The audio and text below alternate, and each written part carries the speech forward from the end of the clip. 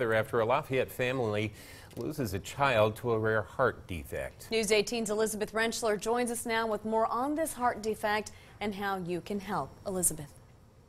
Well, Jeff and Gina, her name is Gracie Phillips, but she's known to many as simply Baby Gracie. Gracie was born with an interrupted aorta and had to endure several surgeries. On Monday, at only five months old, Gracie passed away. Now the community is coming together to help the family heal. Gracie Phillips was brought into this world on May 16, 2013. She just had an angelic look about her. But just a few hours after her birth, Gracie's step grandmother Jane Phillips says they knew something wasn't right. They had heard a heart murmur and did an ultrasound, and um, they decided that she needed to see a cardiologist. Gracie was diagnosed with having an interrupted aorta, which is when the aorta doesn't form properly. It's a rare condition, only making up about 1% of all heart defects. At only seven days old, Gracie had her first open heart surgery at Peyton Manning Children's Hospital. And she came home and just got stronger and stronger.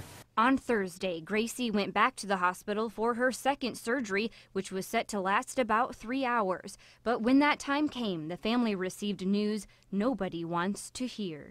About exactly three hours, the doctor came and got us, and told us that there had been some complications and that um, when they got ready to take the pictures, that she went into um, a cardiac arrest. Due to the lack of oxygen in her brain, Phillips says Gracie had severe brain damage. Just four days after her surgery, Phillips says Gracie was gone. She just didn't wake up. That same day, a relative started a website to collect money for Gracie's medical bills. In just 24 hours, the community raised more than $1,600. It just touches your heart that people, that people care that much and, um, and want to give and want to help.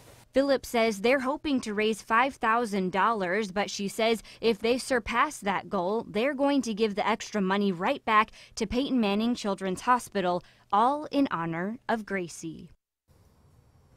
And if you would like to donate to Gracie's family, we've posted the link to the donation page on our website, WLFI.com. Elizabeth Rentschler, News 18.